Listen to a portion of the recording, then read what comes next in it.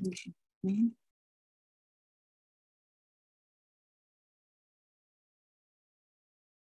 Okay. Good afternoon, everyone. Good afternoon, Mrs. Juliana. Can you hear me?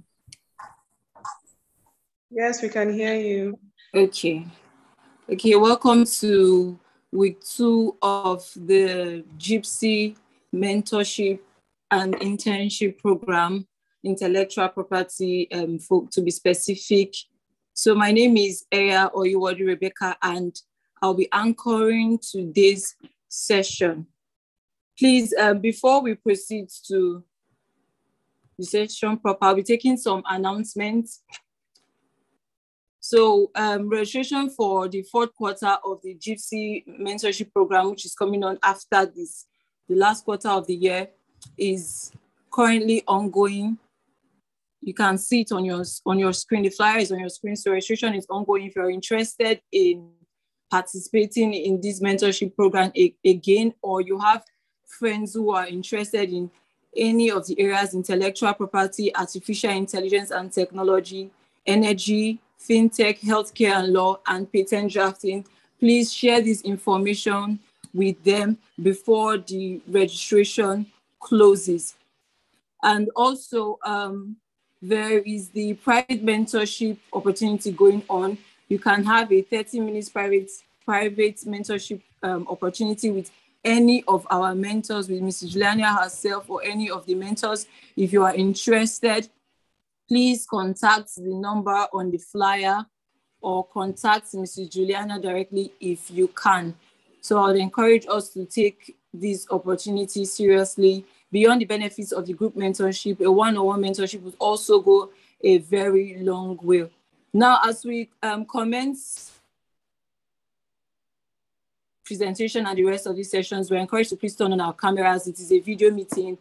It will be better if all our videos are on. We can interact better and we can see one another. As we all know, the meeting is being live streamed. So please, when you're presenting, let your presentations be as seamless as possible and make sure that you are in a tidy and quiet environment if you are putting on your microphone. Also, for the mentees who have not done this, please, you're encouraged to edit the name. Your username on Zoom should be your full names because attendance is being taken. So we can identify each and every one of you for the purpose of attendance. Please edit your Zoom user name. Then uh, lastly, um, JIIPCC is putting together an end of year party for past and present mentees of the program is coming up on the 10th of December. Yes, it's a Saturday, 10th of December. The flyer is also up. You can look at it. It's holding in. In Abuja. Yes, this first, the first event is holding in Abuja. The registration link is up. I think you can get the registration link on the group chat, on your um, group chat. You can get it on the social media platforms. Please register as an opportunity to meet everyone in person and to meet some of the mentors in person too. So now I'll be introducing our mentors for today. Mentors that will be joining us for today's session.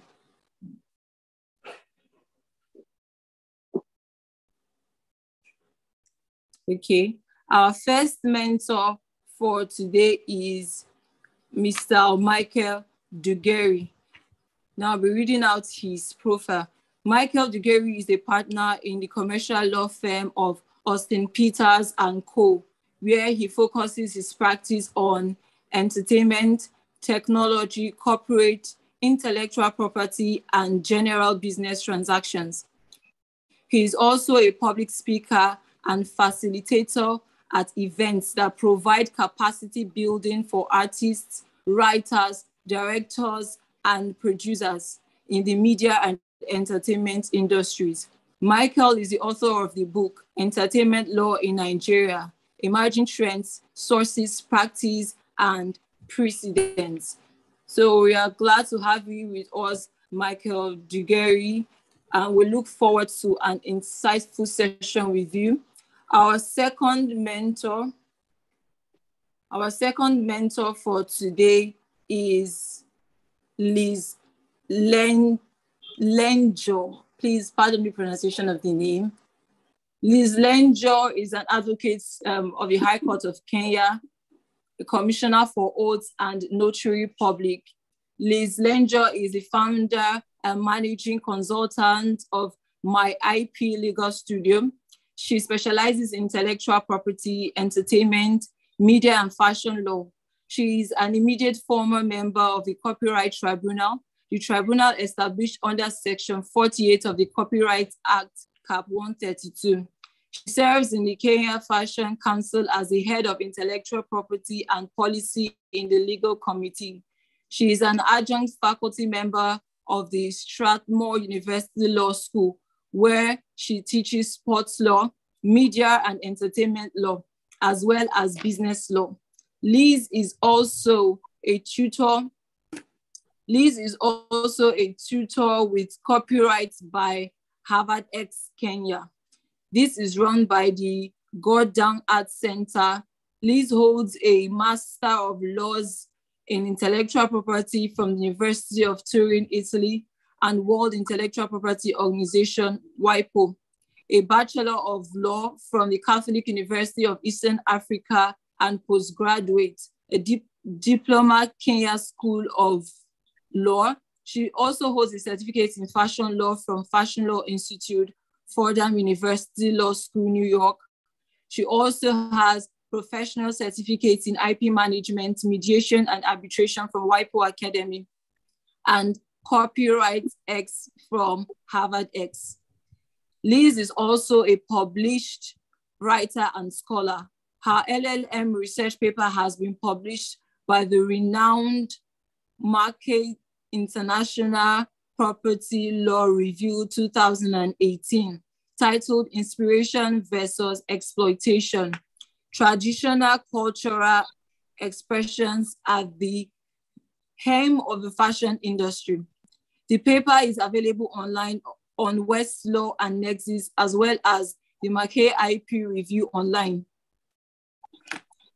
Their web, the Marquette IP Review online website. Um, she has also written and been quoted in several local newspapers, including the Sunday Nation, the Standard, the Star, Up Magazine, which is now defunct, Copyright News, among others, as well as international news platforms Liz is a blogger on www.lizlenjo.com on IP and entertainment law matters, focusing on non-legal minds to understand basic issues in these areas of law. She is also the chapter leader of Creative Commons Kenya and the head of the culture of culture and entertainment platform. Liz has been recognized for her efforts in the legal field and is the recipient of the prestigious nomination in Kenya Business Daily Top 40 Under 40 Women 2018. Welcome, Ms. Liz. We are glad to have you on today's session of the JIIPCC Mentorship and Internship Program. So now we're moving on to the group presentations. Um, today we have four groups presenting, group one to group four we're making their presentations today, and each group has a total of eight minutes to make their presentation. So group one to four, you each have eight minutes to make your presentation. Please, you are making use of your slides and make sure your presentation is straight to the point, as detailed as possible, but straight to the point so we do not take too much of other group's time. So group one, you are starting your presentation Group one, are you ready for your presentation?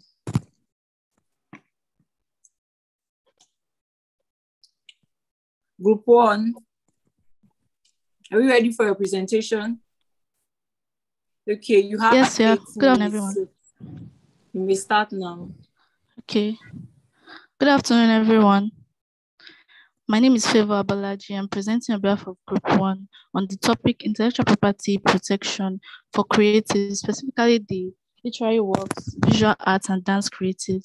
By way of introduction, I'll start by saying that intellectual property protection is the bedrock of creativity.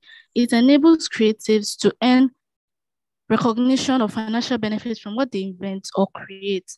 Now, creatives are faced with IP related issues on a daily basis, and generally, the fundamental intellectual property protection available for creatives are copyrights and related rights, patents, trademarks, trade secrets and industrial designs. However, for the purpose of this presentation and because of our spe specific focus on literary works, visual arts, and dance creatives, we're limiting our focus to copyright as it is the intellectual property protection available or applicable to literary works, dance, and visual arts creatives. Now, what is copyright? Copyright under the Nigerian Copyright Act is a legal protection granted to creators or originators of creative works, whether literary, music, musical, artistic, or cinematographic works, or an adaptation of any of these eligible works.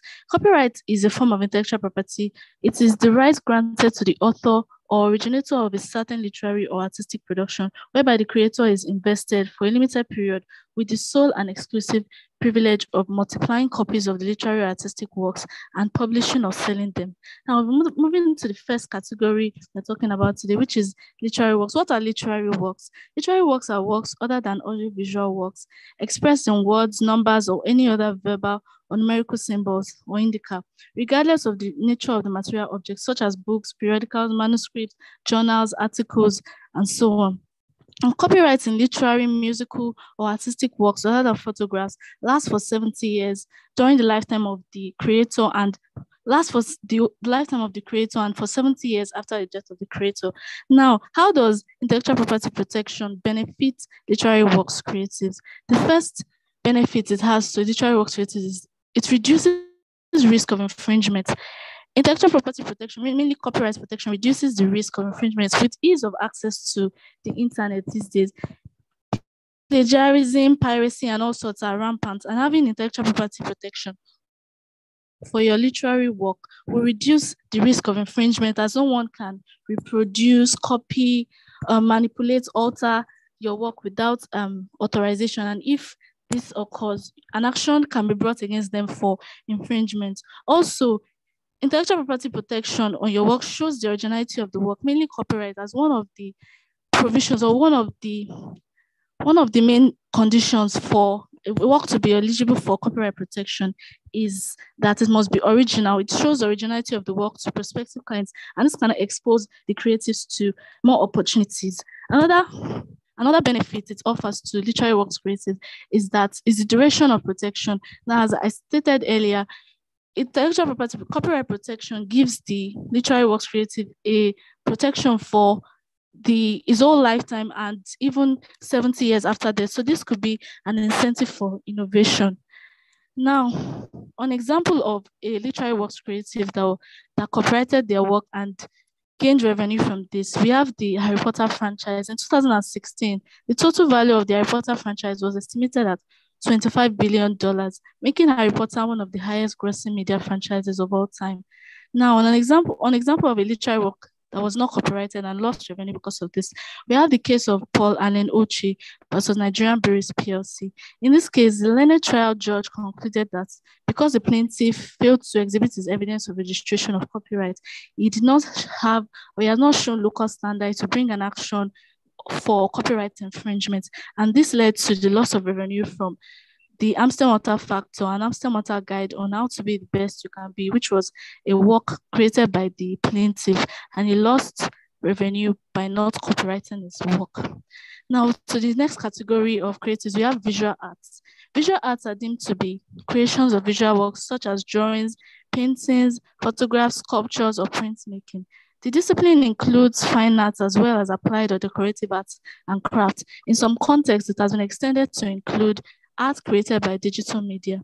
Now, copyright protects original pieces of visual works from being copied without permission. This is a, a, a way by which copyright protection benefits visual visual arts creatives. It protects their work from infringement. Their work cannot be copied, reproduced in any form without um, authorization by the original owner of the work. And the work must be as a result of a person's skill, effort, and judgment. It cannot be something that already exists. So the protection is given when the work is original in a way. So we have examples of, of persons or a person that gained revenue from a visual arts creative that gained revenue from protecting his copyright. In the case of Rogers versus Koons, Rogers shot a photograph of a couple holding a line of puppies in a row and sold it for use in greeting cards and similar products. Internationally renowned artist Jeff Koons, in the process of creating an exhibit on the banality of everyday items, ran across this photograph and used it to create a set of statues based on the image. Now, Rogers took the matter to court and an action for infringement to court and was awarded damages by the court because he protected his work. Now, an example of a person who lost revenue from not protecting his, his work a, a visual art creative.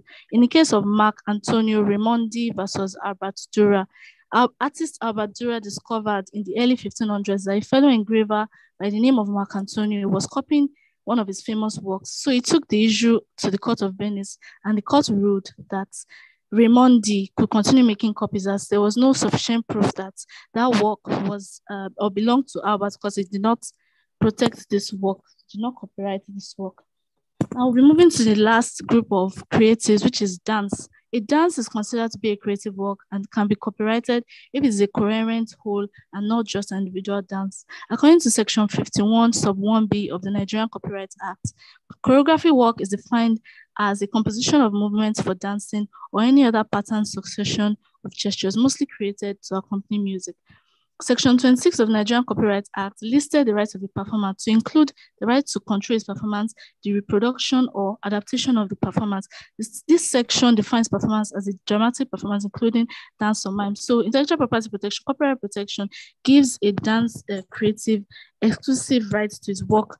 Um, no, no one can reproduce or reuse that work without the perform or without the um, authorization of the creator.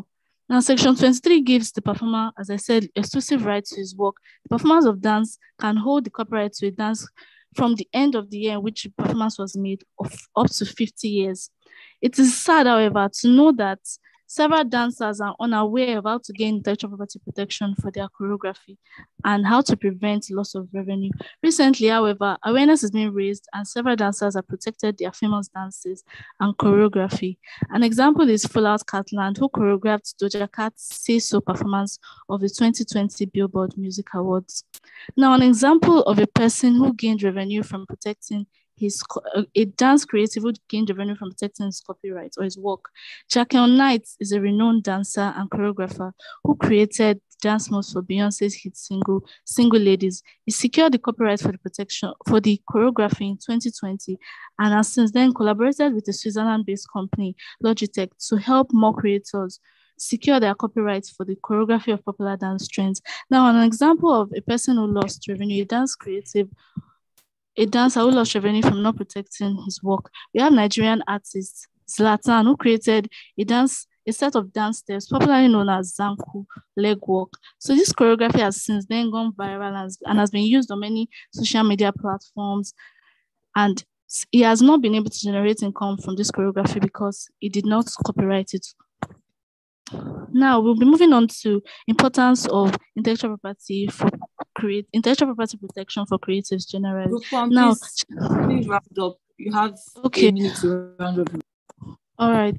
Now, creatives dedicate a substantial amount of time and energy in enhancing their output. It is therefore only fair that they should be accorded protection in some way to help them generate and enhance economic value for their work. And some of the benefits of intellectual property protection to creatives are reduced risk of infringement, strengthening competition, ad- adequate incentive for innovation, increased commercial value, originality. It shows originality of the work to prospective clients and extended market reach. Now, by way of conclusion, it is necessary for creatives to protect all their innovations to prevent infringement. Literary works, visual arts, and dance are also protected by intellectual property, and every owner should endeavor to register in obedience to relevant laws as, as it is a valuable asset to our world. Failure to protect one's innovation puts a person at risk of losing revenue. Safeguarding and registering one's intellectual property is a smart move as it preserves the originality of the work, giving room for duplicity. Thank you very much. Thank you very much, Group 1, for your presentation. So Group 2, please proceed with your presentation. You have eight minutes. Please be brief, round up within your eight minutes window. Group 2, are you ready?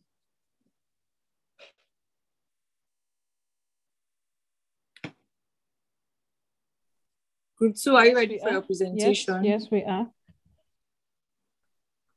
Okay, please share screen. Thank you.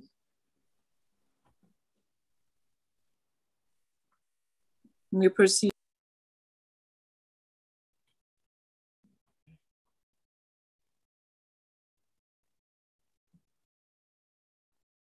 Are you able to see my screen? Yes, we can see your screen. Okay.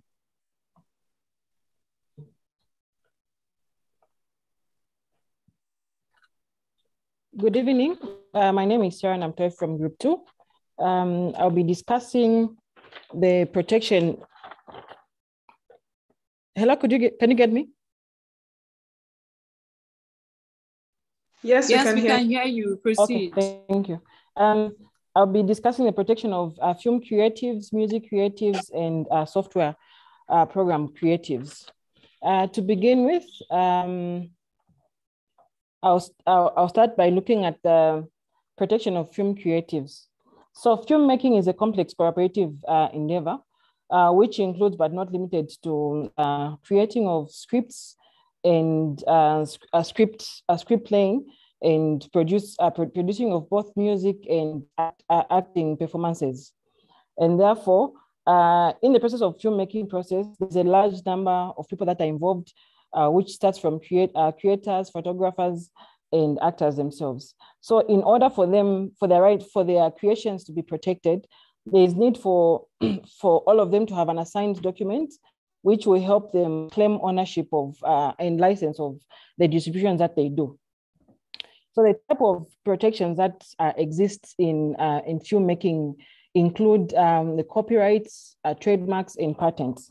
With the copyright, it's basically protecting the, the scripts that are made by the filmmakers, uh, which is done by obtaining protection from the written scripts. And in addition, it's used to uh, as a mode of protecting both the characters and the scripts that are written.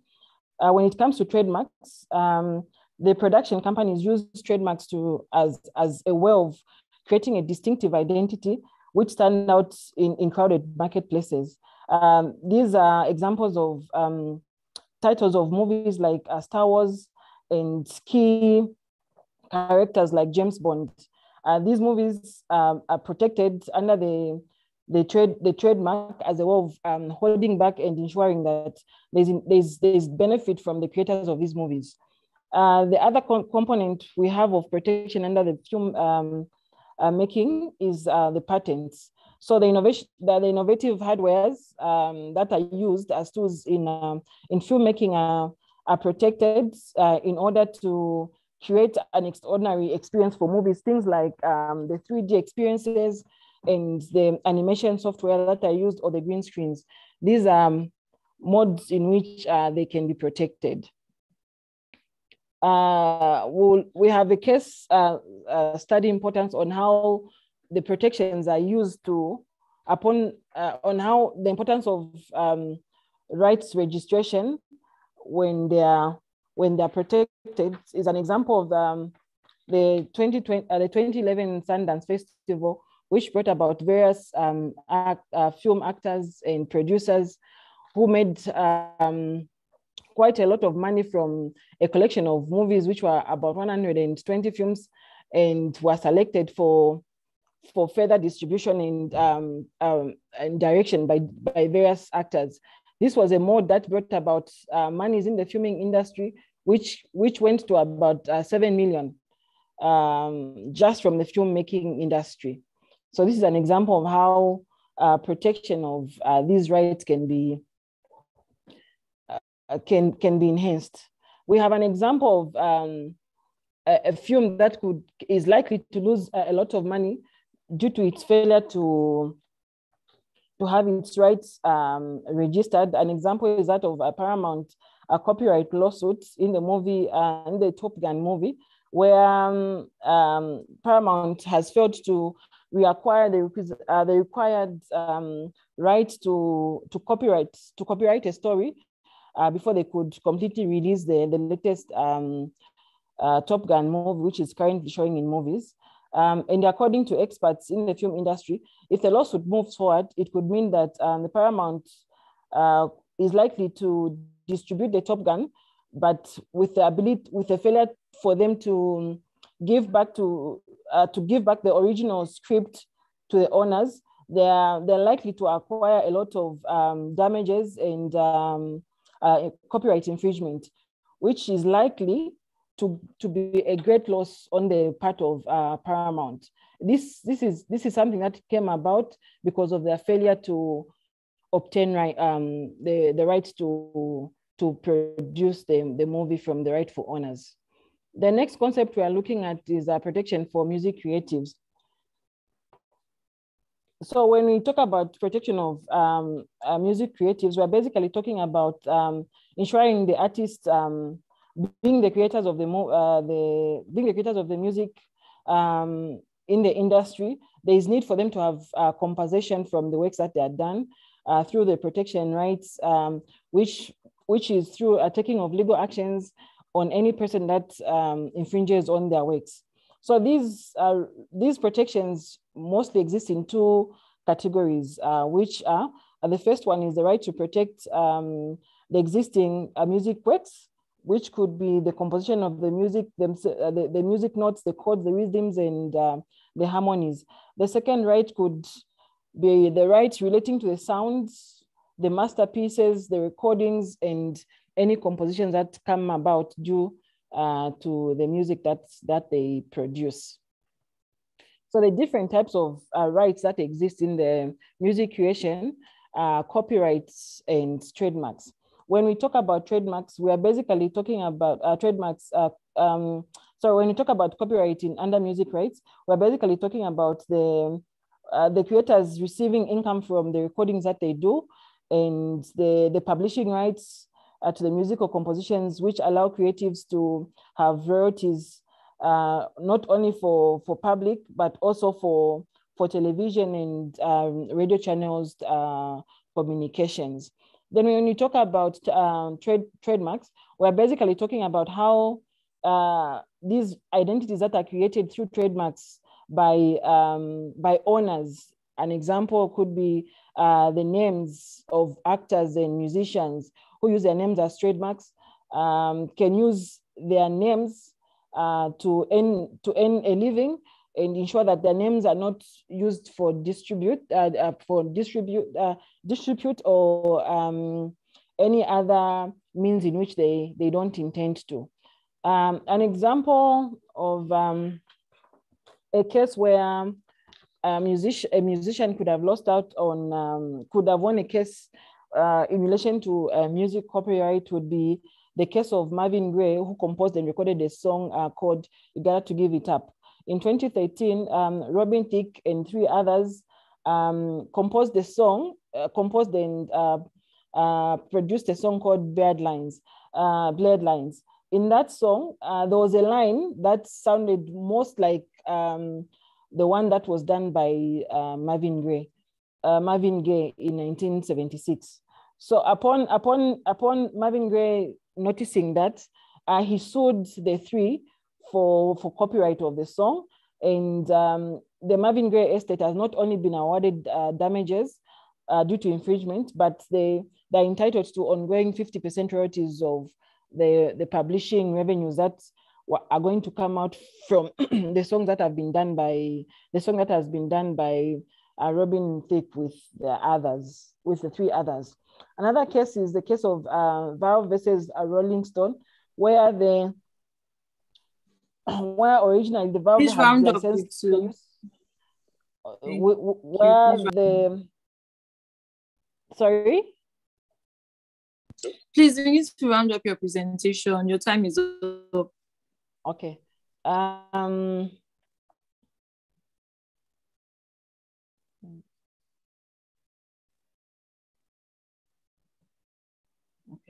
let me go to the last, okay, sorry.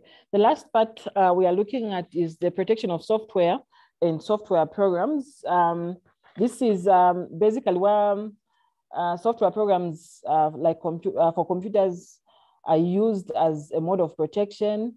Um, this is because uh, for a computer to function, they're programmed in a way that a person needs to set instructions of a language in, to, to comprehend the programs.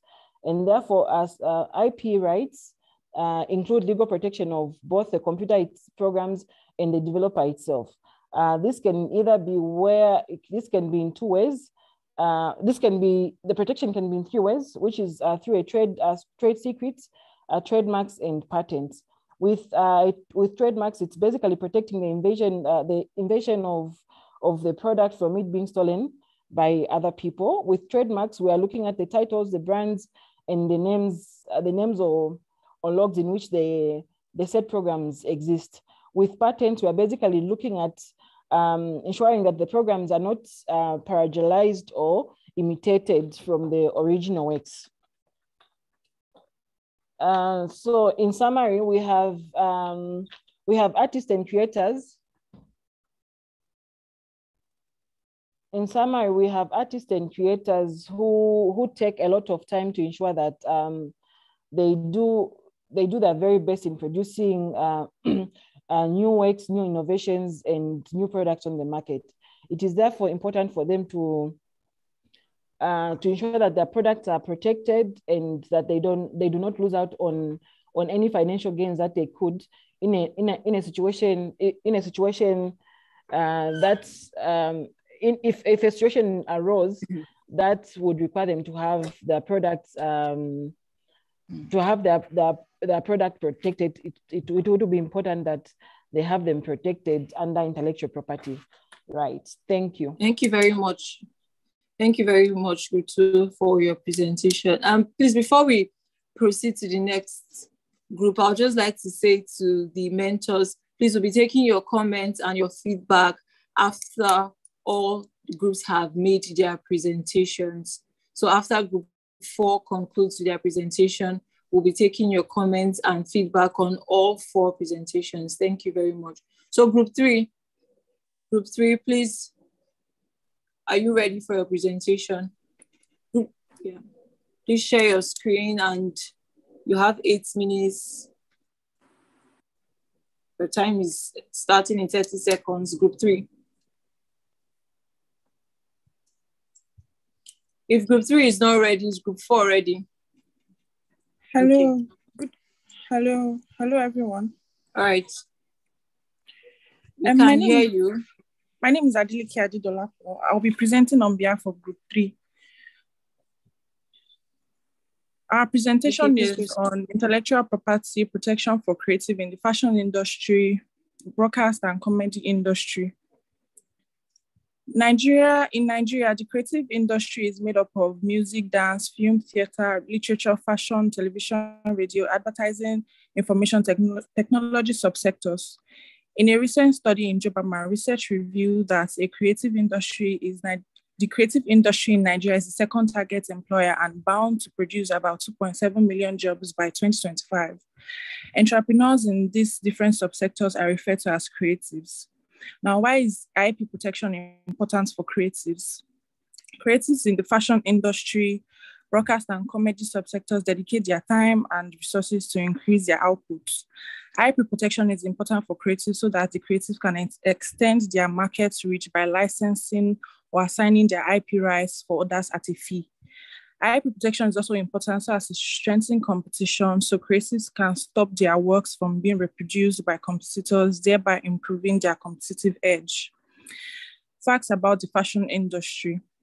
Fashion law applies to apparel, footwear, footwears, and even accessories. This emerging field practice covers such as copyrights, trademarks, service marks, utility patents, design patents, counterfeits, trade trade secrets, licensing agreements, advertising and publicity, every stage of the fashion business.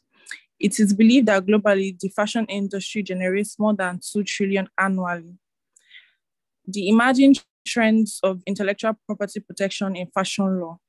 Social media has helped foster co-branding endorsement opportunities between fashion brands and social media personalities, which has the benefits of allowing all parties to draw from larger public audience. The industry has recently seen the increasing use of design patents and trademarks to protect their IP rights. This type of IP vehicles protects the look of a particular product or certain new design elements of such a product. An example of design patents might be an ornament sculptural elements for example, an intricate bow fixed to a shoe, a distinctive color scheme that appears on a particular brand products and the brand. There are cases where whereby parties have gained revenue and also lost revenue. The case of Star Athletica LLC versus Varsity Brands Incorporated centered on whether certain creative elements of the design of a cheerleader's uniform, such as the stripes of a chevron, could be protected under the US copy law. Copyright law. The Supreme Law clarified that in general terms, certain creative elements, whether two-dimensional or three-dimensional of the garments, may be protected by copyright law.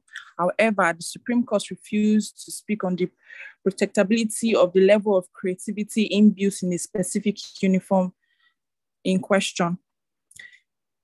Is there legal framework for IP protection for creatives in fashion industry in Nigeria?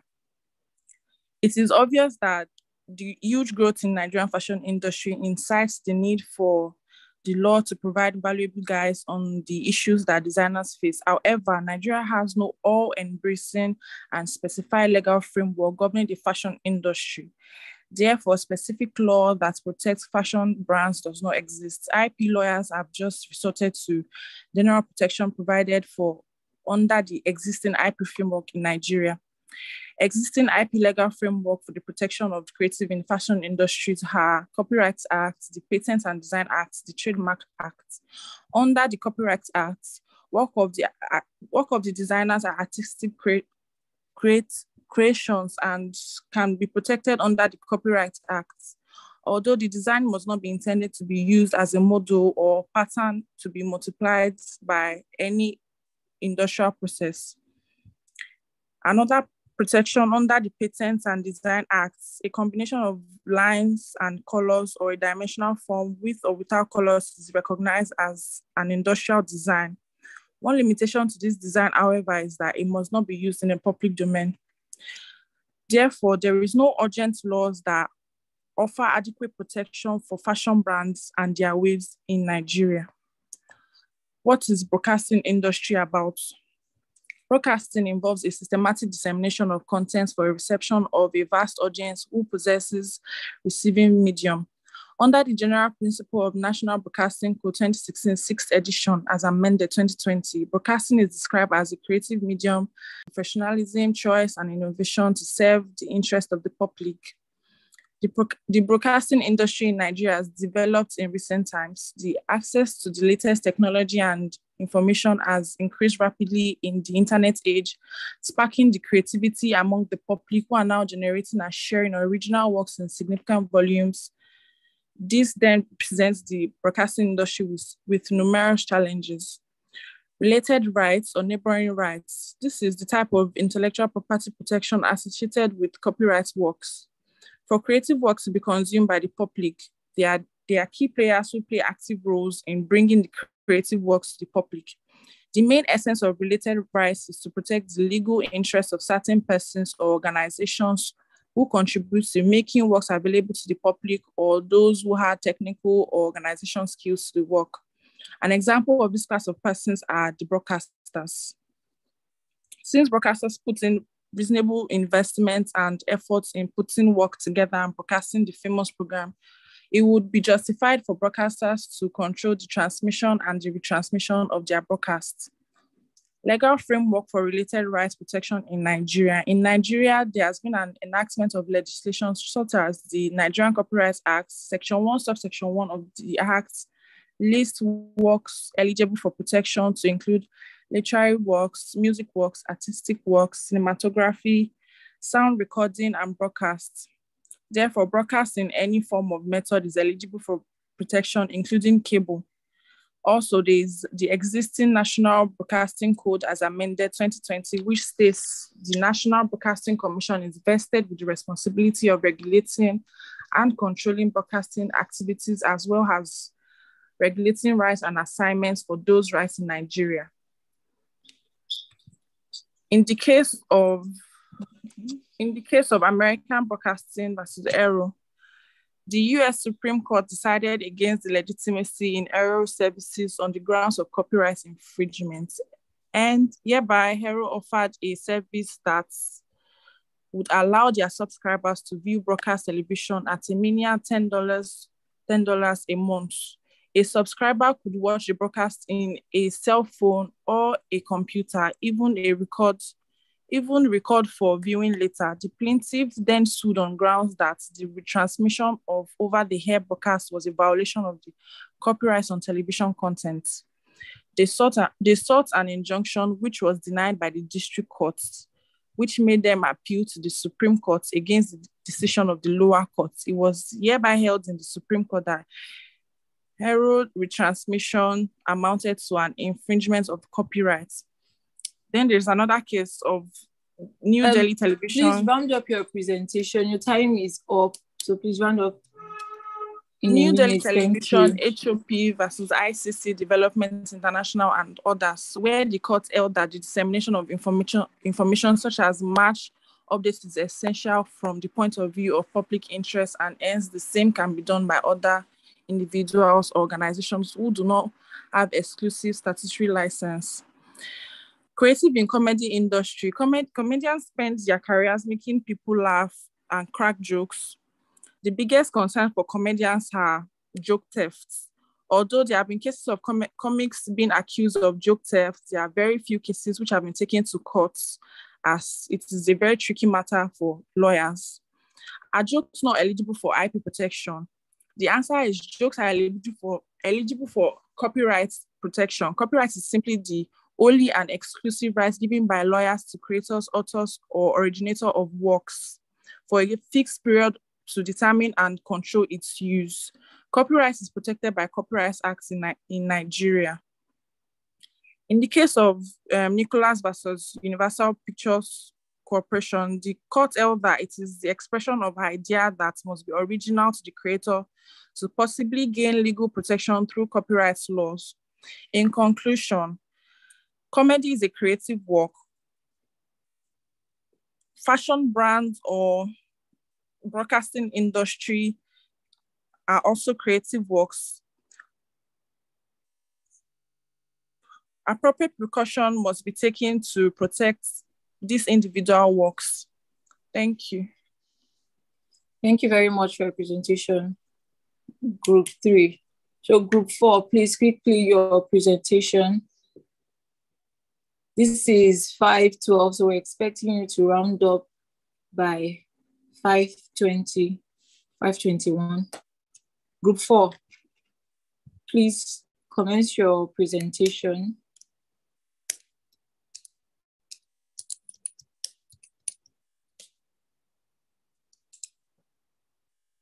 Is group four ready? Group four, who is presenting for you? Good evening, everyone. I'm going to. Can you hear me? We can hear you. Please share your screen. Okay. Um, all right. For group four, I don't know. Can you see my screen? We can see your screen and we can hear you. Okay. Uh, all right. All right. Thank you. So for group four, we are presenting on financing for creativities and IP. Oh. Mm -hmm.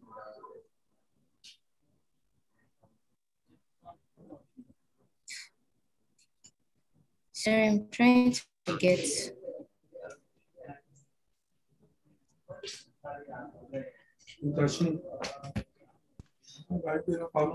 Enable editing.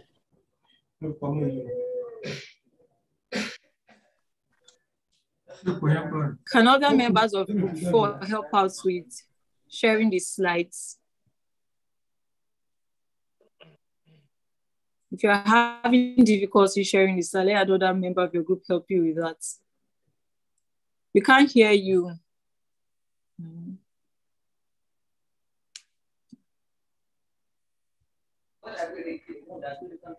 Right.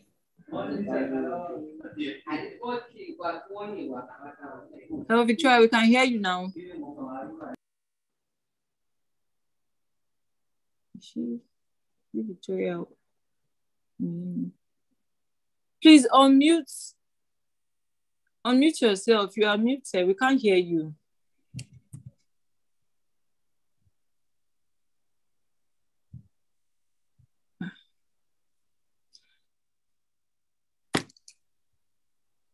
Group four, assist your group member. Please unmute your microphone.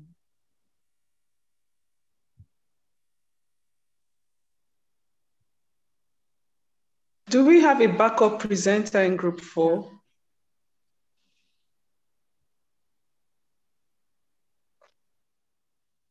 Yes, ma'am. Good afternoon, ma'am. Okay. Can you Thank hear me, ma'am? Yes, we can hear you. We can hear you. Yes. Yes, I'm the group leader of group four. And I would like to say this. Um, we have a backup presenter, and that's Oyeniyi Oluyinka. I just want to call her out. Oyeniyi Oluyinka.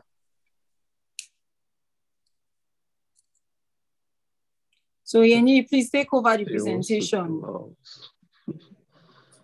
If she's not ready as a group leader, if you can step in and cover for them, that would be that would be nice.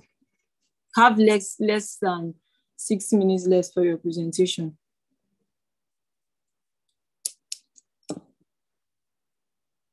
So if group group four, if you are not ready in 30 seconds, you may have to skip your presentation for today.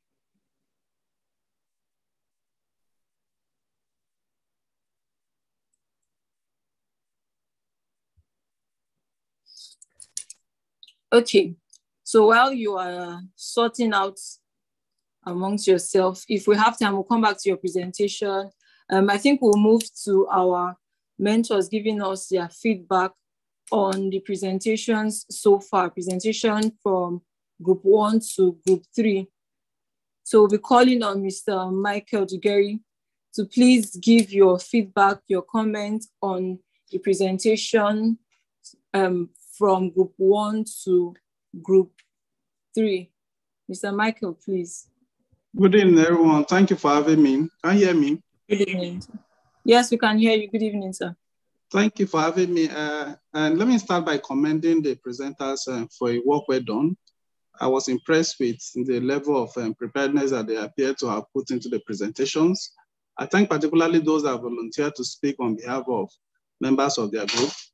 Uh, it's always a good thing that don't feel bad that you're not able to complete your presentation. It's always a good thing that you speak less, that you speak, um, that you are not able to finish your presentation within the time allocated. It shows that you know much more than uh, what you have been able to put down. But on the other hand, in preparing for presentation, you should always ask the organizers to let you know how long you are you'll be speaking. That way you should you'll be better able to manage your time, pick out key points from your presentation, and just give it to your audience uh, uh, point by point. It's better that way. Having said that, I wanted to point out a few comments on some of the presentations. Please do not take this as criticism, it's feedback. And uh, I also want us to know before I continue that uh, this is not meant to, I wanted to say that we needed more time to talk about the things you said. But again, I realized that even if, even if we spend all day talking about these things, we'll probably still be here and I will still not be able to cover everything because they are really like complex uh, legal issues. So it's good that uh, these are just pointers, these are just challenges for us to take back, look more into those issues, read more about them so that we can know more on the, the work. So for group one, let me start with uh, what you said on page three of your presentation, which is that works is not defined. Uh, so the I think the, the Copyright Act uses the word work in a generic sense. You know, it's not a legal term as used in that law. So because there's actually a definition of works, which is a definition that speaks to a form that a protected work can be. So I want you to go back and look at it so that you can note that correction. But specifically, I wanted to talk about the case of for Allen, Oche, and um, Nigerian breweries, where the judge heard that he was not able to grant the relief that the claimant was asking because his work had not been copyrighted. And so it's, a, it's, a, it's an interesting case which I want us all to go back and look at and to ask ourselves questions like, should the judge have looked beyond the form you know, and consider the intention behind what the claimant was trying to say. So for instance, must my work be registered before it's protected under the Copyright Act? These are the questions that the judge did ask. But on the other hand, on the flip side of registration is that, you know, without registration, it's always difficult to prove ownership. So the judge was hammering on locus standi uh, the standing. He said that the claimant didn't have the standing on which to institute action. In other words, he was saying that you have not been able to prove your relationship to this work that you are trying to enforce. But it's good because it's also something that we need to develop our law more around. Because the idea behind saying that copyright must not be registered before it's enforceable, you know, there's a lot of uh, jurisprudence around it, which I think that our judges are yet to fully appreciate. So the approach generally, in most of the cases is to say that once it is not registered, they will be careful in granting protection. I'm not saying that it will not be protected, but they're usually very careful in granting protection, which is why even though the, the law does not say that you must register, you must always make effort to register because it makes it easier for you to prove. In addition to every other thing that you can do with it once it's registered. Then um, dance, I also want us to appreciate the difference. You know, dance is something that is that is not commonly talked about. Uh, so we have to appreciate the difference between dance and choreography. A lot of people take it for granted that you know dance is capable of being protected. I think more specifically, especially under our laws, what is specifically protected is choreography. And there's the difference between dance and choreography. You know, choreography talks talks about speaks more to a performance. You know, remember what the law is trying to protect is something that you have invested in, something that you have put effort in, as opposed to dance, which is something we commonly do just to enjoy ourselves, to have fun. The law is not about to reward you for having fun. The law is really about rewarding you for the efforts you have made. You know, so in cases where you have invested, you know, a performance is typically something that you know require rehearsals, require a lot of time, effort in putting together. And when somebody has gone through, a group of persons have gone through that process, you know, the law is there to say that, okay, you protect, or grant protection to, uh. Under our law, that is Copyright Act of Nigeria, uh, choreography is protected under neighboring rights, which means it is not specifically, you know, when you say neighboring or related, it's something that is connected, you know. So what what what that what the law does is to protect it, to grant it a special level of protection outside the traditional uh, uh, modes of protection under that law. So we appreciate that difference so that you know it's not just that somebody has made a dance and then you feel that okay, the person has acted fast enough, the person would have uh, uh, protected it, and therefore the person would have gained from it. The law seeks to draw that distinction so that you don't take away so much fun from the public just by saying that okay, I did this, I feel I did it first. And you know, it's something that you should be able to say, justify and say that okay, because I put in this effort, I deserve and this level of protection. Group three that talks about group three, I wanted to point out on page um, on page eight of your presentation, you said that design was not in the public domain. You, you, you criticize the position that once a design, you know, is, uh, is in the public domain, even if it is the public domain, you know, it deserves some level of protection. I found that uh, that position very strange. I want you to look at this again and ask yourself really if that is the intention behind the law that regardless of whether or not a design is in public domain, uh, it should still be protected, you know, because there's the issue of originality, there's the issue of authorship. I mean, how do you claim that you are the author of something that uh, is already in the public domain? Then coming down to broadcast, broadcast is something that I'm personally very interested in because it's something that for, for some reason, you know, speaks to other levels of intellectual property because whatever you do, you always need a medium within which to push it out to people. You know, that, that is where the, special protection, that is where the special protection for brokers comes in. You know, now you have the capacity with the internet to reach as many people as possible. So you want to be sure that whatever you are passing through that tunnel, you know, yeah, it, it, it belongs to you, it's not infringed upon, and gets to your targeted audience.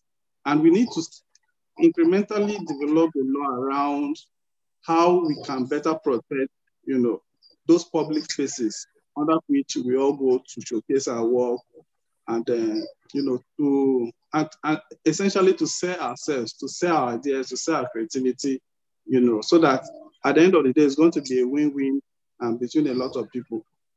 Again, on that page, of your presentation, that is group three, I want you to look again at related rights and neighboring rights. You tend to have missed it up, you know, talked about. Appreciate the difference, especially under Nigerian law. I understand that this is an international session, you know, so laws may be different, but under Nigerian laws, I want you to appreciate the difference between related rights, which we don't have, what we have is neighboring rights, and what that entails. So when you look at it, you appreciate the difference, which I talked earlier about between dance and choreography. And then I also want you to look at folklore.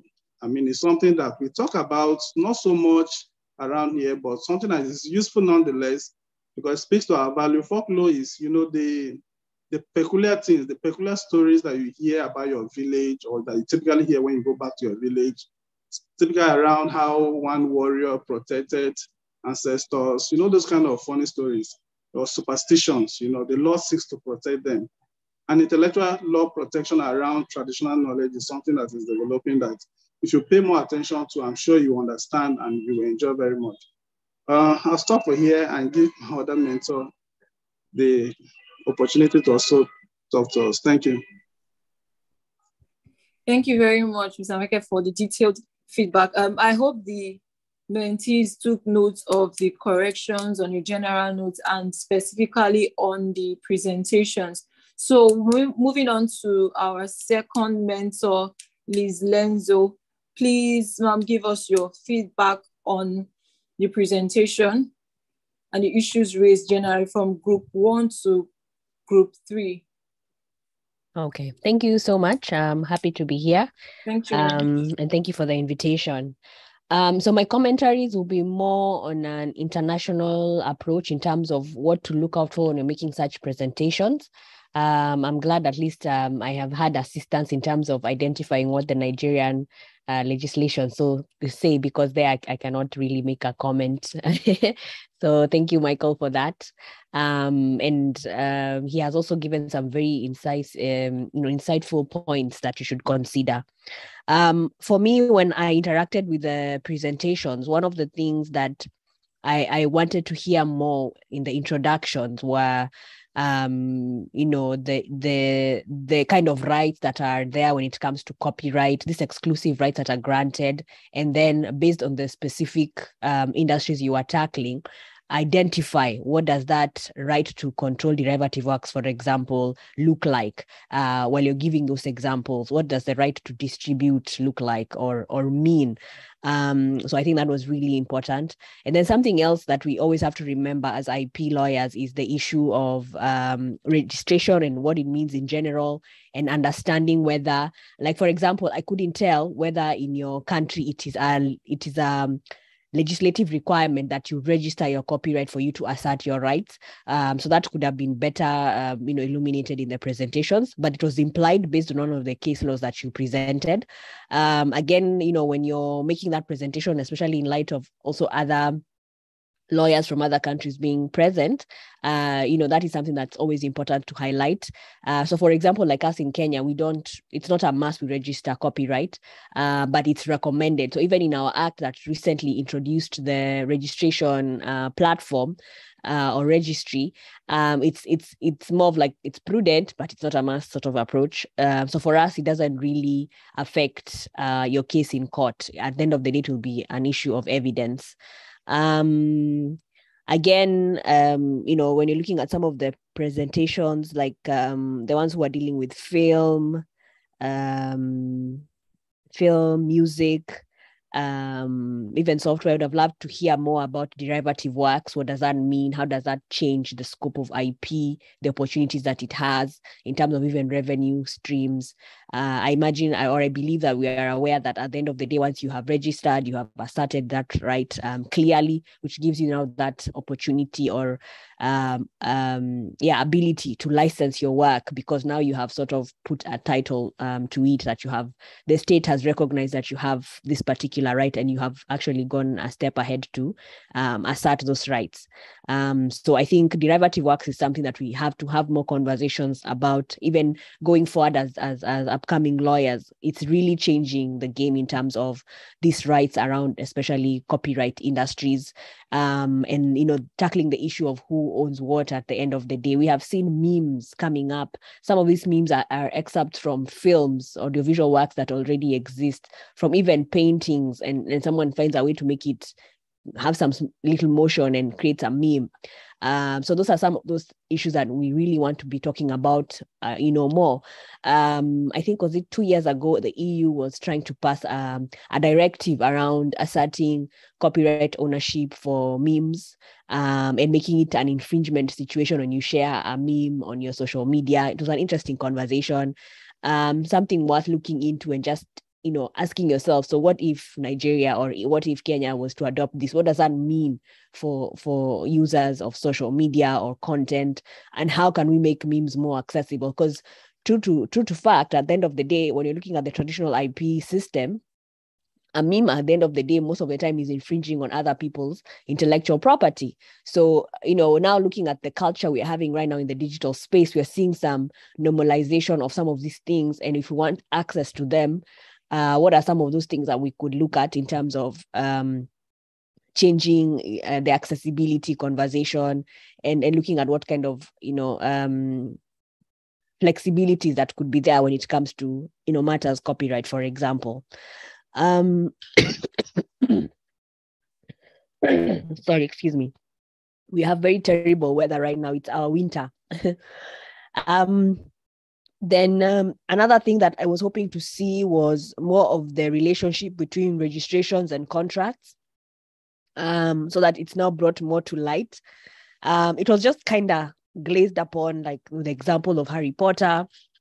Um, I think the the group that did that presentation, Harry Potter would have been a really good even example to take us through um, your presentation in terms of just identifying how um, IP has been utilized um, in the in the in the Harry Potter series and how it created all this wealth into the billions of US dollars.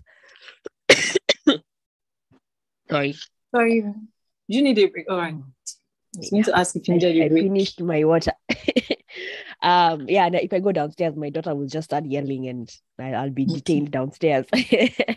so I'll, I'll stay here um, yeah, so the issue of just um, always understanding and reconciling why regist- how registrations and contracts and um, economic opportunities uh, work together at the end of the day. It wasn't really clear. It was kind of implied. Um, so even when you're making a presentation, sometimes I think we get lost in just trying to show our legal prowess that we forget to sort of just have a guiding presentation so going forward, I think that's something um, to factor in. And then again, in the all the presentations across board, um, I didn't see a lot of conversations around online exploitation, how that affects um, the rights in the different sectors, how that affects, you know, if it's copyright, if it's trademarks. Um, again, now when you're talking about online exploitation, it's also important to always remember about the importance of terms and conditions and the role that they play, especially when it comes to IP. Um, so I hope like most of us here have read terms and conditions of Facebook, Twitter, Instagram, uh, because those are some of the issues you face when you're when you're advising clients on should they make their work available on the digital space. Um, and some of them have that question.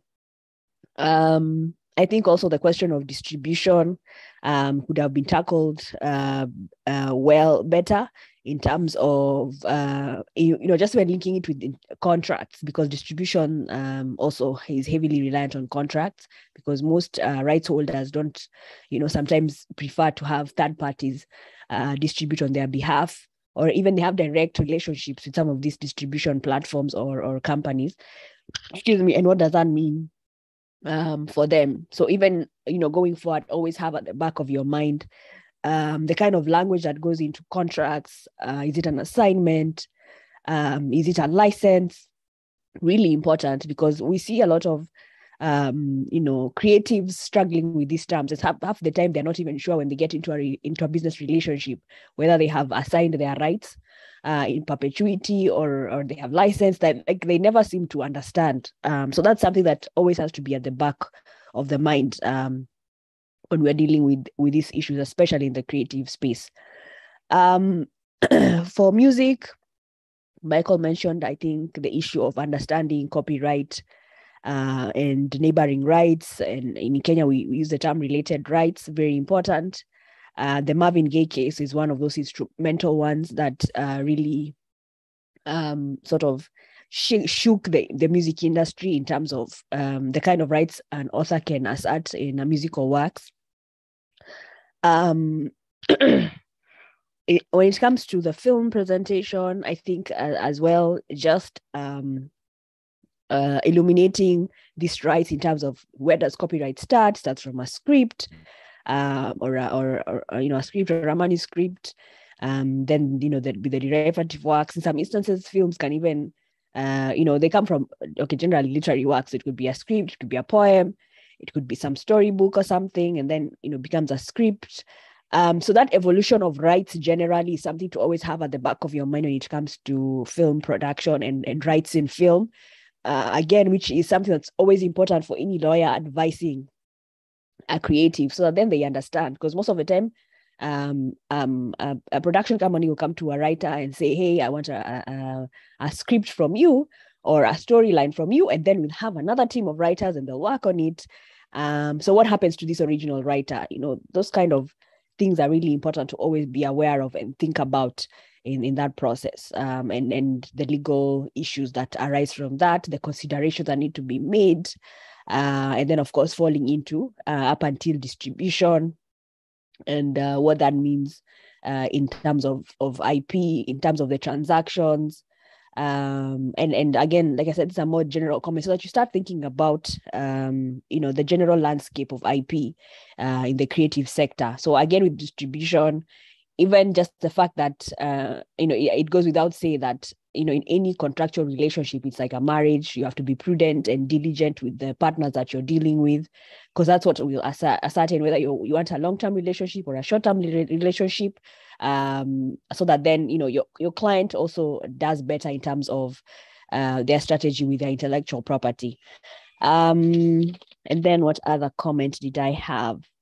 Um, i think also on on fashion um, um, that uh, discussion could have been highlighted more in terms of just identifying where this IP is when it comes to fashion and talking more because we brushed through quickly about uh, copyright trademarks and designs. Um, so I think you know that could have been illuminated better and, and just highlighting the sort of challenges sometimes that are there when it comes to protection of fashion designs um, today. Uh, but again, also just um, marrying how copyright and trademarks and, and design patents or industrial designs, depending on what term you use in your country, how they complement each other and how sometimes you may end up using one strategy over another because you know you have here you have copyright. On the other hand you have industrial design or design patents how why would you choose one over the other? And how does that affect the strategy? Um, you know that's something uh, that you want to to think about and look at and look at also in relation to your statutes, especially if you have an industrial design provision or design patent provision, depending on the terminology used there. Um, how long is the duration of, of, protection? How does that impact or affect how a designer's uh, IP strategy looks like? Because uh, remember, again, fashion is a very fast moving um, situation. And sometimes you really need to protect those rights uh, strongly in the beginning because you know they want to make their money and then move on to the next collection. So some of those things are really important to factor in. Um, the issue of again territoriality uh, across board all these um, industries we talked about with fashion i know as africans we know uh, we have a lot of outsourcing um, i think like for kenya we do a lot of outsourcing when it comes to manufacturing most of our our, our designers tend to outsource in china or turkey so the kinds of contracts that they need to have at the back of their mind, uh, also remembering that they have to register because IP is territorial, and then of course the contracts, the kind of clauses that complement intellectual property, you know, matters exclusivity. What do you do with the design files? Um, for example, um, um, the ability to even inspect at the time of destruction of these files.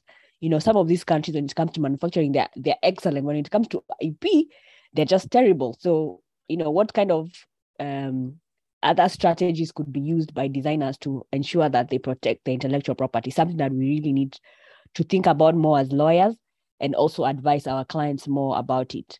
Um, then we touched on on the issue of you know sharing the designs uh, online before protection. Again, very important. Um, I don't know about what your act says, uh, but I, I uh, Michael made, made a note about it. So again, asking yourself, uh, what impact does you know showcasing a design before it's protected? What does it have? What impact does it have on the strength of the IP um, and the protection of that IP? Um, with broadcasts, I think the one thing I would say um, is that we need to be aware that broadcasts to be protected, they must have to they must be broadcasted to begin with, and then of course we have those transmission rights, um, and then um, the evolution of the digital space and how it affects uh, the broadcasting industry or how it has sort of broadened their revenue streams and the kind of rights that they have. Um, of course, this now leads to uh, now even um, identifying other acts of infringement, for example, circumventing. Uh, you know, a broadcaster has content online and you're supposed to, there's a paywall and someone else sort of, you know, finds a way to bypass it. You know, that's circumventing, it's infringement. Um, so, you know, conversations around that. I don't know if it happens a lot in Nigeria, but in Kenya, it's like the norm from you know uh, especially with like online newspapers that's that's been a thing and magazines. We have very brilliant pirates in kenya. Um with comedy uh, i'd make a note again to just say contracts as well become a very important conversation to have. Uh, please read the dave chappelle story and his experience. Um, and he he laughed at himself on one of his uh, sitcoms. He did something on YouTube. I'll find the link and share it with the, with you guys and he just made fun about his legal situation because he didn't have lawyers at the beginning and then he realizes uh, apart from the fact that his jokes had copyright that you know the contract really affected um, the kind of rights he could assert um, over his work and how it affected his ability to even reproduce some of these jokes um, is, is something uh, we want to sort of tackle at the end of the day. Um, and then finally, as we as we are having these conversations around IP in the creative sector or IP in general, traditional knowledge and cultural expressions is this new emerging area uh, that I think for us Africans we really took for granted for a long time because for us we're like it's our culture, uh, we can use it, but now enter TK and TCEs as an area of uh, a sui generis right? Um, that's asserting um, rights to communities. Uh, I know, like for example, you guys in Nigeria have so many communities, and most of you, you know, uh, you know, at the end of the day, ask yourself from community X, if I use this work, what does that mean? Uh, from this other community, myself as a member of my community, what does that mean when I use some TK or TCEs from my community? Um, I don't think you guys have an act yet for TK and TCEs. Um, but if you're in the process of doing that, you know, maybe you can learn a bit from us. We have an act uh, we're having a very difficult time um, effecting it, but we are aware there are rights. The question is, how do we even start paying? Who are we paying? Um, so you, even now, in terms of, of the communities, because most of them sort of, um, should I say, not really disintegrated, but they there's a lot of intermarriages. So some of these tribes and communities are like five people and some of them are all over the country. So we're, we're being told now there's this community you pay where are we paying them? How are they organized? Those are some of the issues we are struggling with right now. So it's crippling innovation for us. Um, but at the same time we appreciate that that's our right. Um, so hopefully you guys will have a, a better uh, experience. We are now trying to fine tune our regulations to make them more practical and ensure that um, especially the Kenyans, are not affected. I think when we were passing, for us, when we were passing this act, in our minds, we were fighting the Louis Vuittons and, and all these big brands. And then we forgot that at the end of the day, legislation is uh, it has teeth locally. It doesn't have teeth, you know, outside its uh, territory. Uh, and in, in the absence of an international instrument around TK and TCEs right now, you know, we are we're sort of wobbling. We are walking in uncharted waters. Uh, but all in all, you guys did an amazing presentation. It was nice to see that um, you identified some of the issues uh, that are really important when you talk to when you talk when we're talking about IP and the creative sector. Um, you are at least current in terms of your research and looking at what is happening um, online and, and some of the cases that are happening globally. They really um, affect um, you know, how we approach IP even as Africans. We really like it's a whole ecosystem at the end of the day. So uh, when we're doing business, we're not just doing business in our countries. We're trying to do business with other countries, with the whole global system. So it really matters at the end of the day that we are aware of what is happening and uh, we have more practical approaches.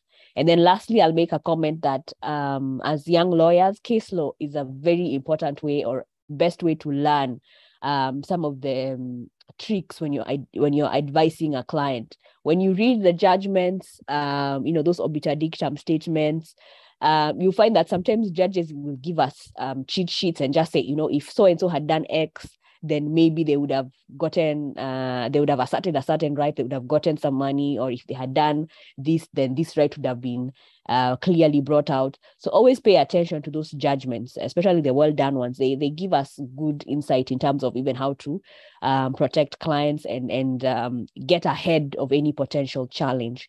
Yeah so that's uh, those are my comments uh, and thank you so much for your presentations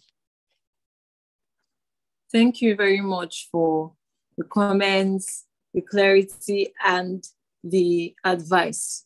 Thank you so much. Um, to the mentees, please take note of the feedback from the mentors on the presentation process in general and on specific areas of law that were clarified and explained in detail. Thank you so much to the mentors. Thank you, Mr. Michael. Thank you, Mrs. Liz. So um, before we proceed to the next part of this um, session, which is taking the questions that have been asked beforehand, we're going to be doing something. So I would ask all mentees to please turn on your cameras and mentors also would appreciate if you turn on your, your cameras, that you start your videos so we can take pictures of today's session. So what we're going to do is, I hope everyone's video is on. So once we turn on our videos, you take a screenshot from your end, swipe to the part of uh, the screen where you have more persons showing, take a screenshot of yourself. And um, after the presentation, after today's session ends, we'd like you to post a picture, post the screenshot on LinkedIn and um, talk about what you learned, thanking the mentors also and thanking the organi organizers of the program. Tag the mentors if you can, tag JIIPCC on your post. So I'll give us a minute to do that. Take screenshot of,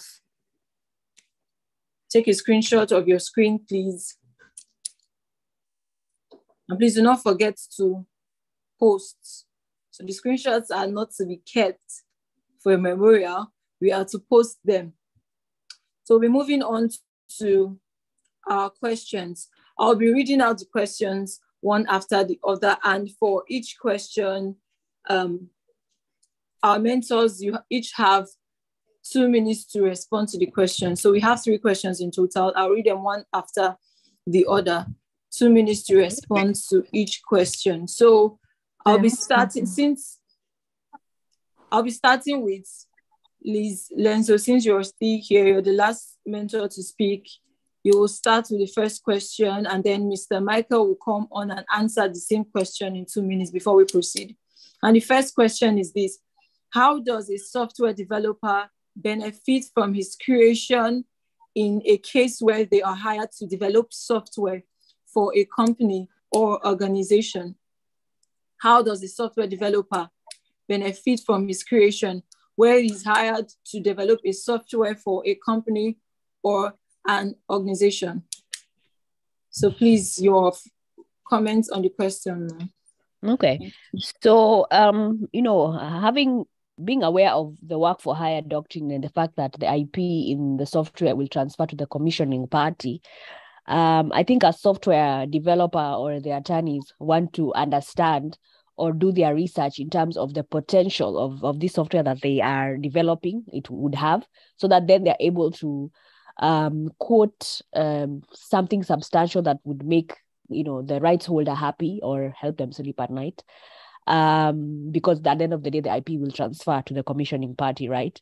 Um, but secondly um, negotiating for um, what's it called maintenance um, sort of services being able to be at the back end of of um, of uh, this software that you have helped to develop being part of, of of the team for as long as possible will uh, also assure you a long-term revenue. And it also gives you an in towards um, you know sort of having more solutions towards making this software better.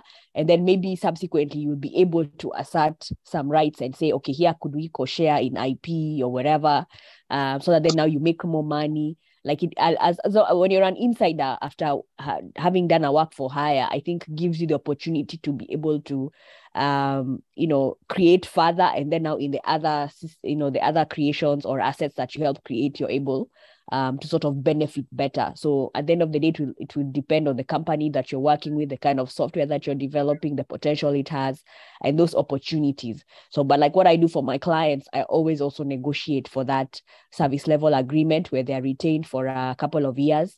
Uh, as the maintenance team, and every month they still make some money outside the license. I mean, so outside the work for hire agreement, they have uh, maintenance uh, a maintenance contract for as long as they can and they still make some money and they get other clients on the other side. I think again with software you have to be very aware of um, competition. Because you see for a work for hire for example um, you're like a consultant right?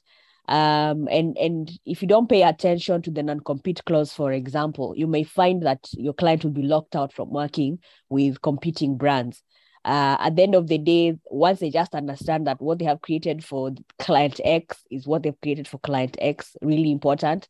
Uh, help them understand that if they used anything from the previous work, then they'd be infringing on the IP that they originally created for another party. Um, sort of, so then at the end of the day, they also don't lock themselves out from uh, developed, developing other products uh, outside. So again, also just uh, identifying what is confidentiality, uh, what is potentially infringing? What are some of these trade secrets that they need to be aware of when they were working with another company vis-a-vis working with the next company? Really important um, issues to to tackle and, and to identify so that then your software developer client or their company is you know protected and they're lucrative at the same time and everyone wants to and people want to work with them All right, thank you very much. Um, Mr. Michael, please, your answer to the same question. How does the software developer benefit from his creation when it's a work done for hire? Thank, thank you very much. I think Lisa said uh, uh, most of what I would have, uh, I would have said. Just to add also that in, in situations of this nature, it's not in every case that maybe you're hired for just a particular period of time. There are instances where your engagement is permanent, so you are more like a staff. So in situations like that, it's a lot um, more difficult to navigate your way around how you negotiate your pay. But other than that, of course, if you're just coming as an independent contractor for a specific project, it's easier. You have to you have to weigh your options and then have an estimation of the value of what is it that you have you are you are, you are being hired to do so that you can uh, price competitively. And then they, they, there's a matter I handled recently where a, a developer refused to hand over the source code. You know, after after working on a project, uh, he went away with it, and then we had to threaten and sue before he was able to release the source source code. So, like the the computer language, you know, with and that it's like an idea that you have reduced into a language that any other tech person can carry and implement. And if you go away with that, of course, that typically they do that in cases where they want you to keep going back to them for maintenance. Like Liz mentioned, you know, it's like a leverage, you know, and also going away with it also means that it's easy to take it and then give it to another person. It's easier that way. So ideally, like she did mention, the, the contracting around it is very important. It's something that you typically expect like in this particular case, there was even no contract at all. So it was particularly difficult. At some points, we're literally begging. But so the contracting around it is very important from the onset. It's something that you typically want to engage your lawyer from the onset, both parties, you know, so that they pay attention to the technicalities around these tech, uh, these tech issues, so that you know, not just to look at the legal side, look at the practical aspect of it, what is capable of being done. So we talk about confidentiality. You know, uh, and software is something that is, and there's something called fungibility, the ability to break something up in smaller parts and then use them for different, you know, for different uh, occasions or different programs or different projects. And software is capable of doing that. You know, it's possible to take a particular software and use it for another project with very little or even no minor, with very minor modifications.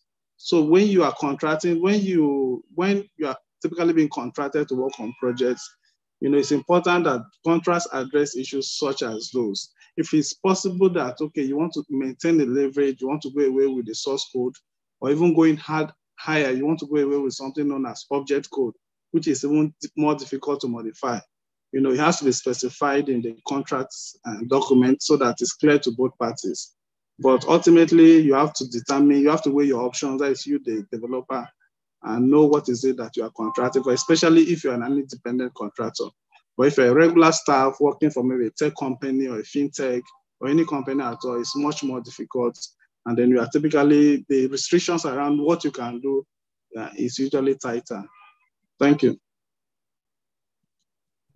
Okay, thank you very much for the feedback, Mr. Michael. As someone who is very interested in IP protection for software, I would really love more details about the case that you mentioned. So maybe I'll contact you after this session. But thank you very much for that.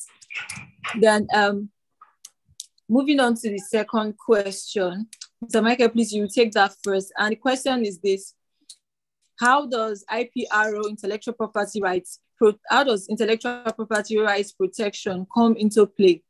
Bearing in mind the principle of copyright law that the person who creates the work owns the copyright in it. So how does IPR protection comes into play, bearing in mind the principle that the person who creates the work owns the copyright in it. So Mr. Michael, please. So under Nigerian law, the position is that the, the, the author of that work is the owner of that uh, copyright, of the copyright in it. But the law, so the law also makes exceptions in cases where you know you are hired to do that particular work, and I think this is related to what we just answered. So it will depend on it depends on the circumstances under which you made that uh, you carried out that endeavor. So if it's under a situation where you are hired, and so Section 10 of the Copyright Act of Nigeria, for instance, says that in cases the primary owner of a copyright work is the author of that work.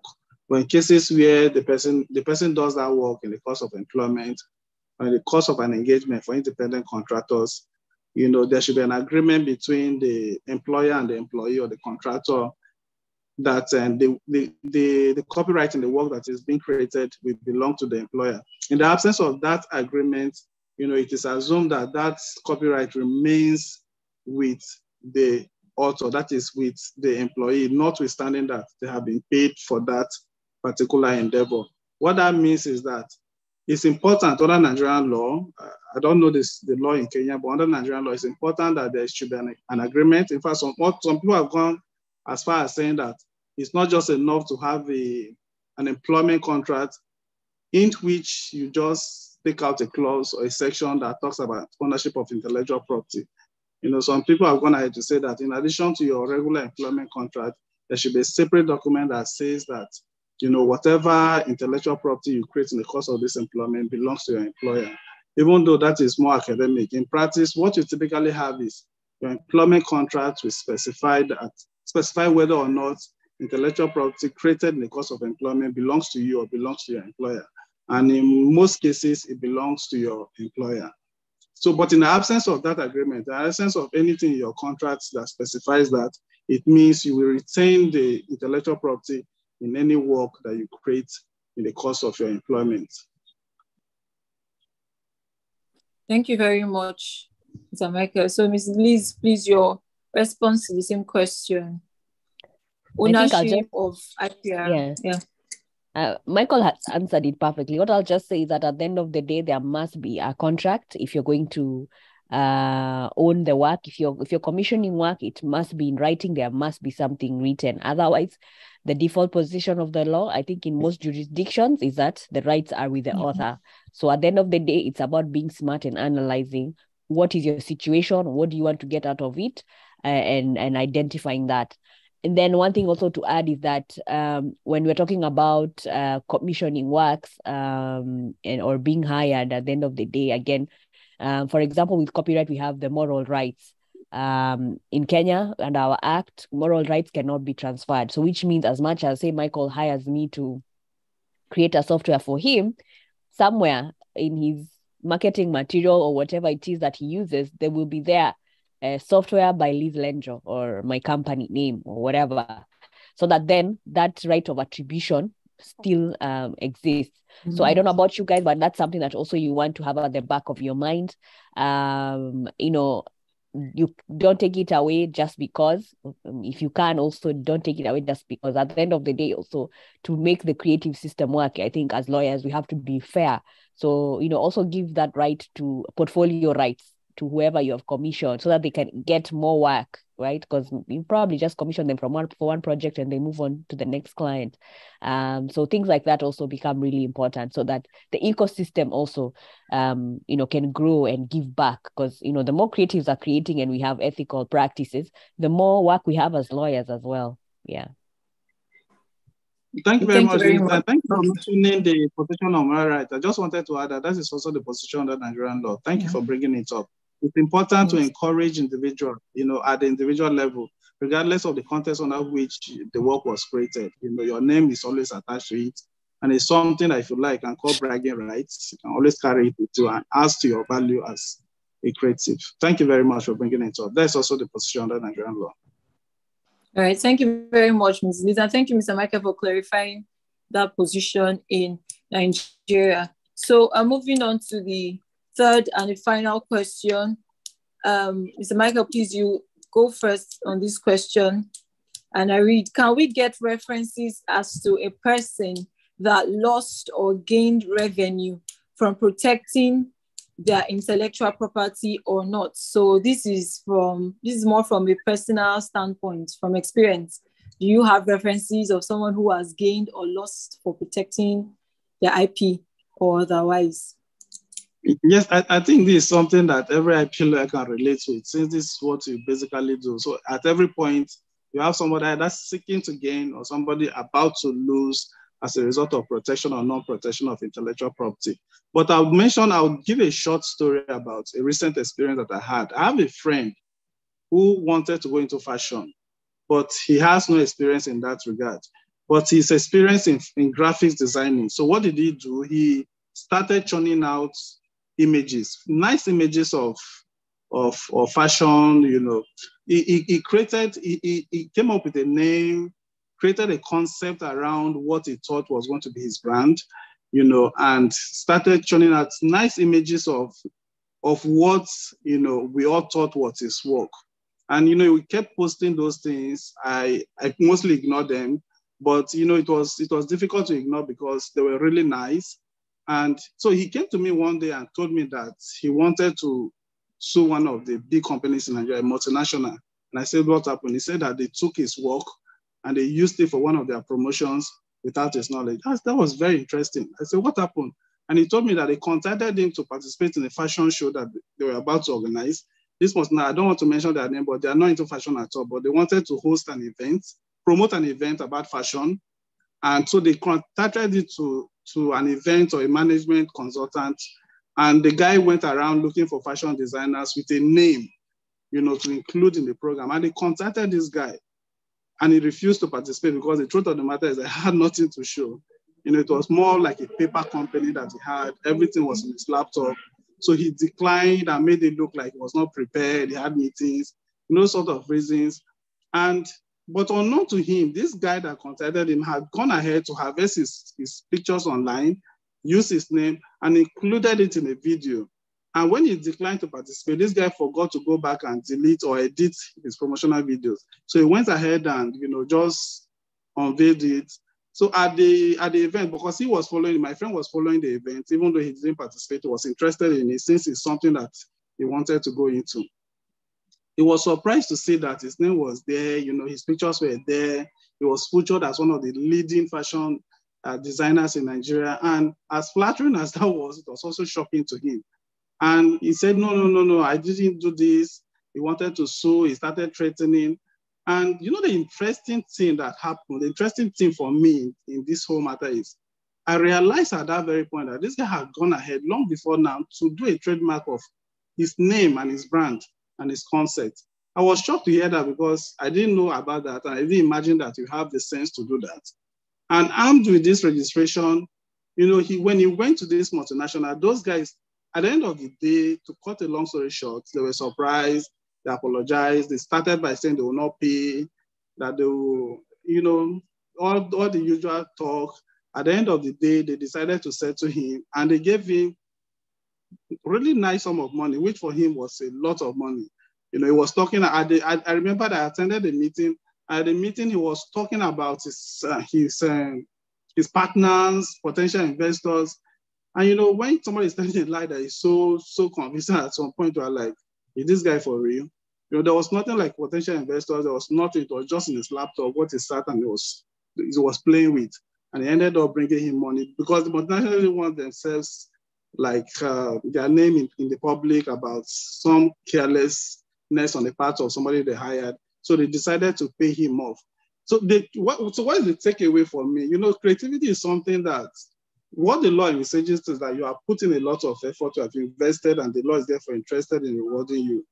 But it's also possible that you can come up with something with very little or no effort at all. But the important thing is that once are able to package it, once are able to put it in a form that is capable of being identified and being associated with you, you can make money off it.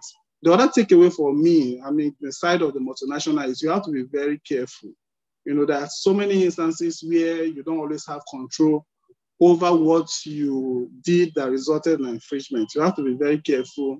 You know, the world has, there's so much awareness now about intellectual property and everybody is being careful. Don't just harvest pictures on the internet and use, you know, you can land yourself into big trouble.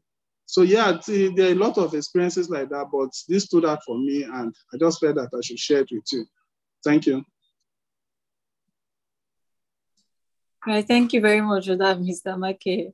An interesting scenario. So, Mrs. Lee, have a similar or the opposite side of it? Please share with us. I'll give one on the opposite side that also tackles something that uh, we didn't get opportunity to to touch on, um, and this was um, a client who came to us a few years ago. They're in film, um, they went to a broadcaster and um, pitched a script that they had been working on. Uh, so they were very informal with this relationship. So first things first, they it was not a fully de- de- uh, developed um, storyline. Um, so they did not register anything, but at least even in the list, they could have had like the synopsis registered, the characters, like they could have done something. So, but no, they go to the broadcaster and they think they're really smart and they're giving this amazing uh, program uh, with at least a draft of, of the flow of the program and whatnot, armed with nothing. And then a few months later, they see a trailer going, uh, doing the rounds on, on TV, on YouTube, like a teaser and they're like, what the hell is going on? Uh, we went and did a, a, presentation. So when they came to us, um, so we asked them, do you have any registrations you pursued? Nothing. Do you have any emails? Um, even just registering that you guys went to meet these people? No, we were having online, we were just having telephone conversations. It was terrible. And upon assessing um the the nature of the program it was like a, a game show and and if you all are aware we, when it comes to copyright, for copyright to be granted to any works, it has to be sufficiently developed. And that's one of the challenges that, of course, in the film industry that is there. If your idea is not sufficiently uh, uh, developed, then, you know, it's a concept. Copyright is not granted to concepts. So, of course, in that regard, um, they lost out. They didn't even have an undisclosure agreement, which at least also complements um, copyright, especially in industries where you're trying to pitch and collaborate. At the end of the day, if you're dealing with um, you know, people skilled in a certain area of or, or, or industry, and you're sort of in a space with people who also know what you're doing, and they can easily reverse engineer. And yet, you've done all the legwork, all the research, you've identified how it even revolutionizes their business model. Um, if you don't have an NDA at the end of the day, you're on the losing end of the stick. So, in this regard, they unfortunately lost. Um uh, you know they couldn't pursue anything and they tried even going to court it was handled by another lawyer and they lost uh, because they, they did not have any evidence.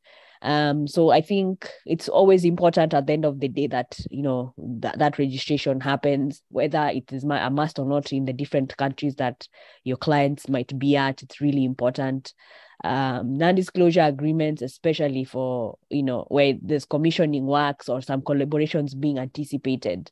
Uh, always important those NDAs and and you know unfortunately uh, as, as as you get into the profession as young lawyers, you will you will interact with with lawyers who be with with clients who'd be like, no, no, no, I went online and I downloaded a template.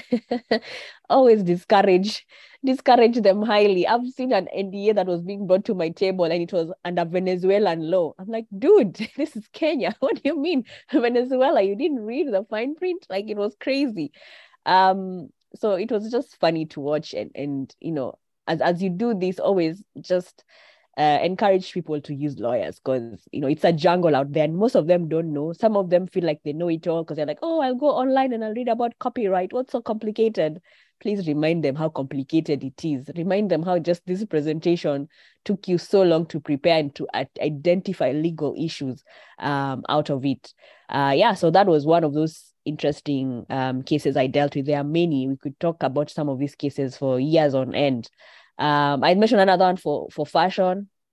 Um, this particular client uh, or person, I thought that they owned uh, a design to the shorts, even the print. We found out the print was sourced from China, and we're like, dude, you need to understand what is protectable and what is not. Um, so again, some people imagine that when they read online, they know everything and they can self lawyer. Um, so I think occasionally share that meme about do not confuse uh, my degree with Google. it's usually a mug I like to use occasionally when clients try to be clever with me. Um, so have that meme on the side. But yeah, at the end of the day, registration really helps the NDAs and the communications uh, whenever there's some sort of exchange leading towards a potential collaboration. Those things can really um, save a client's life and, and you know put some money in their pockets. Thank you very much, Mrs. for okay sharing more than one senior with us. So there we have it. Uh, the mentees who've heard from both sides for the, those who benefited from protection and those who suffered because they did not protect their intellectual property. So it's beyond the books, it's beyond the theory, it is practical. Um, there are benefits that um, come with IP protection, and there are consequences where protection is ignored. And which take note of all that the mentors have said, take note of the use of NDAs where protection, where registration is lacking. The NDAs can serve as protection temporarily. Thank you so much for those scenarios. Thank you for the answers to all the questions. So I'd like to call on Mrs. Juliana to give her two cents on the questions, the presentation in general, and of course, offer her vote of thanks as we conclude on today's session of the mentorship program. So over to Mrs. Juliana. Thank you very much, Rebecca, for moderating. You, I always enjoy when you moderate. It's so professional and interesting, and you look good, by the way. Thank you so much. Thank um, you. And to our mentors, I really want to say a very big thank you to them. Thank you, Mr. Michael. Thank you, Liz. Thank you for saying yes. Thank you for coming. Today has been amazing. We have learned a lot. Personally, I have learned a lot, and even from the presentations from the mentees.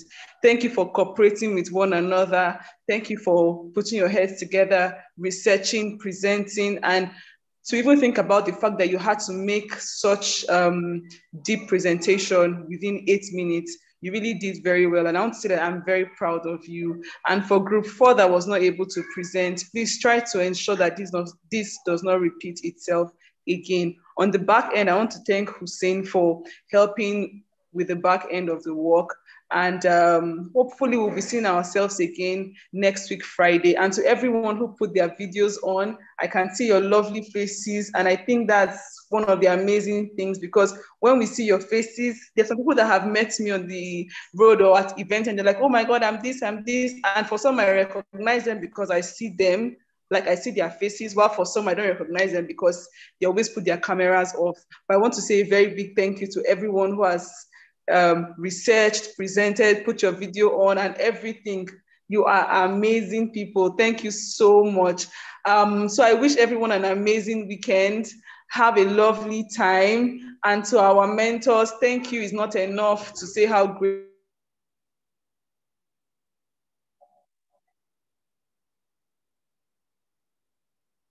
great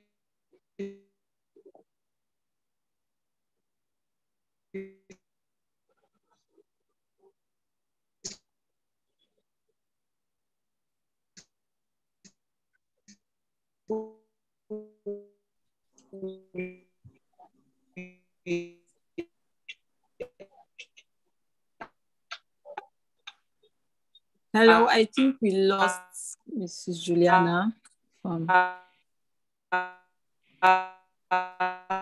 Please, can anyone else hear me to be sure it's not from my end? Yes, Yes, yeah, you can.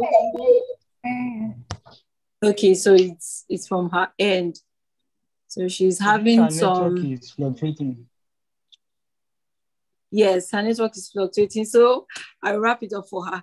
Thank you for today. Okay, she's back. She's back. Let's see. Mrs. Juliana, can Sorry. you continue? Thank you, everyone. Have a lovely weekend. Okay. Oh my God. Sorry, my internet. So I was saying thank you, everyone. Have an amazing Yeah. weekend and please take care of yourselves. And thank you to our mentors, Liz and Michael. We are so grateful. And please send our regards to your baby downstairs. Thank you, everyone. Bye. Bye, Bye.